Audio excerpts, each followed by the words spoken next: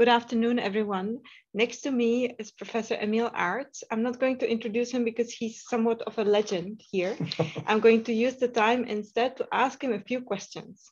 So Emil, the first question is, what is TAISIG and why are these talks called TAISIG talks? Oh, thank you very much, uh, Marie. The acronym TAISIG stands for Tilburg University Artificial Intelligence Special Interest Group.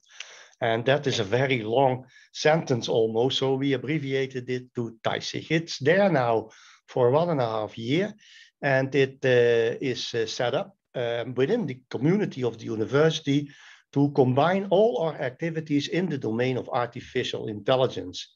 And the reason to do that is that obviously artificial intelligence is going to become a very important element within our research, within education, within the impact that we as a university will generate within society. And uh, so this calls for action and TAISIG is the answer to it. Thank you. Um, so what about the TAISIG talks? What is the idea behind the TAISIG talks? Well, the first part of TAISIG uh, as an objective is to build a, scientific community of practice. And we are all, let's say, scientific practitioners in a way. We love to speak about our research. We love to learn from others. So the best way to do this is to set up a, a series, a lecture series, and that is called the TAISIG Talks. And we all know the format because the public and the audience has already uh, attended a few items before, at least that's what we hope.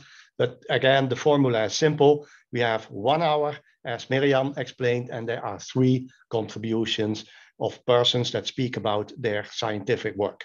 Mm -hmm.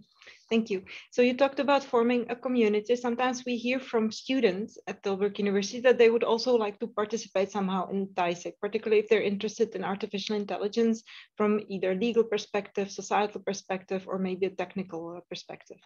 What can we do for our students? How can they participate?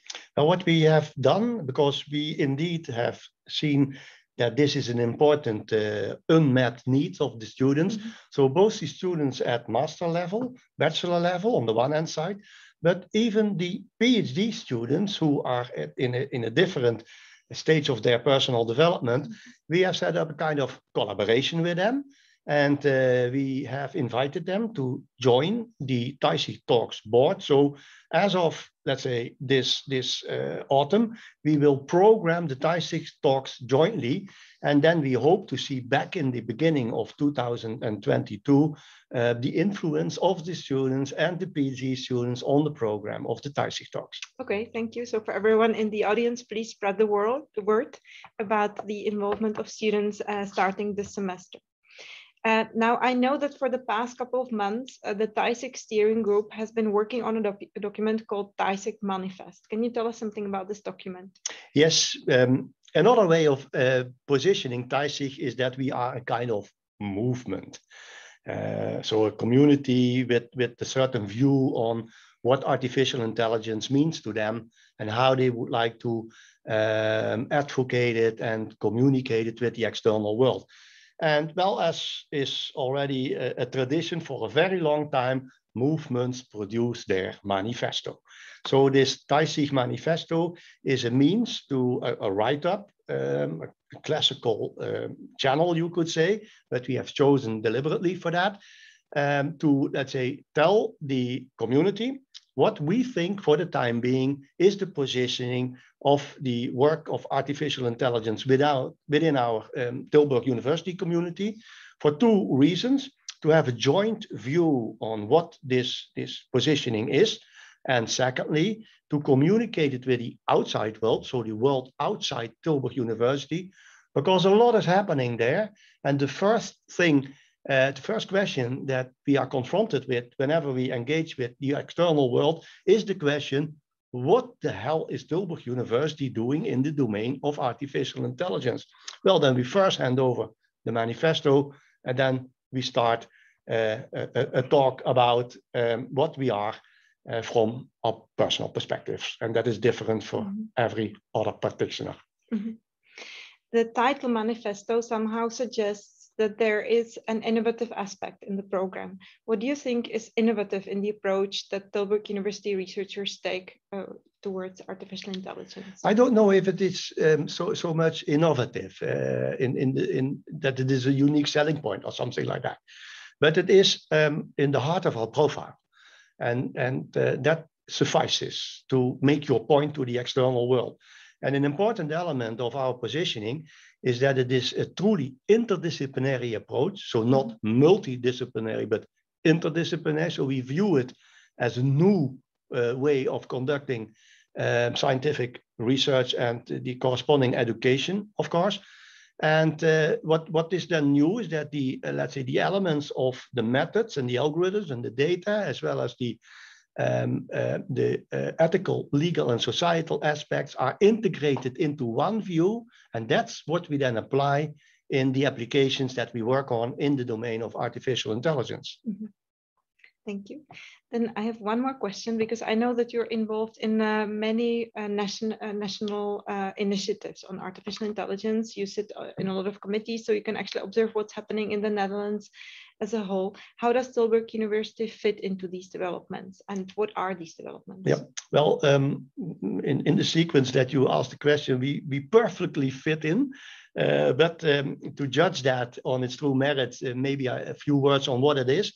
So um, almost two years ago, um, the, the government in the Netherlands launched a platform that they call the Dutch AI Coalition, um, basically for the simple reason to, let's say, get our act together within um, uh, uh, the Netherlands to be able to, let's say, work together in the European and also the global context um, of work in artificial intelligence. So the good news is that this uh, coalition has developed uh, uh, its own, let's say, governance and its, its views and I um, would like to recall at this point in time, again, a TAISIG activity, an event that we had in July this year, where Inald Lagendijk, who was one of the persons who, um, let's say, um, is, is, in the steering board of this community that is at the national level, uh, presented to us the views uh, of the Dutch coalition. But what is important for Tilburg is that there are a number of instruments under development and um, also the funding of those instruments has been realized already uh, from the perspective of the Dutch National Growth Fund. And the good news is that uh, uh, earlier this summer, there was a first call announced by NWO with an amount of money ranging between 10 and 15 million euros to set up ELSA labs. And also Tilburg University is very strongly involved. We know that there are several applications and four of those um, contain also contributions from Tilburg University.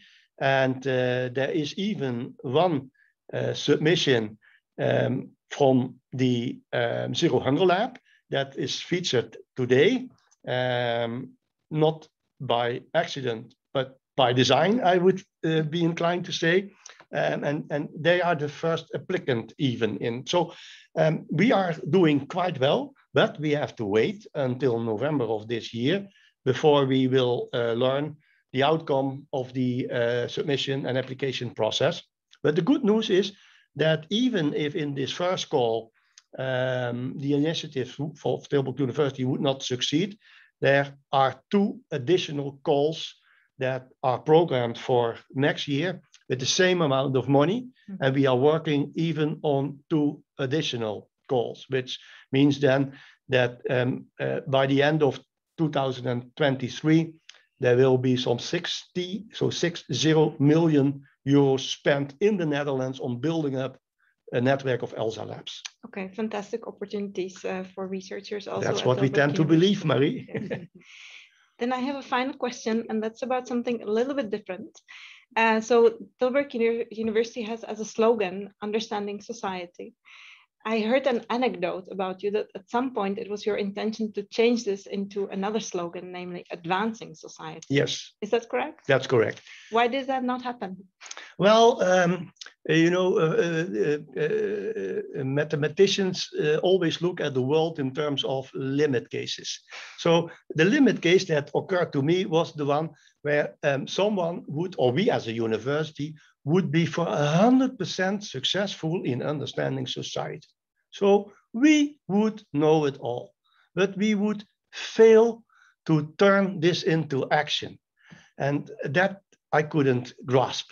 So we then more or less, it was not an intention. We even tried, Marie, to change it. And, and we had some fierce discussions with, with some people at the university. And um, the impact program even launched the notion advancing society for that matter. And uh, it, it, it's interesting that you mention it because every now and then there is a scientist who approaches me and then he tells me this idea about advancing society. I live by it even after you are gone as a rector. And that's that, uh, well, that makes me feel good. Thank you.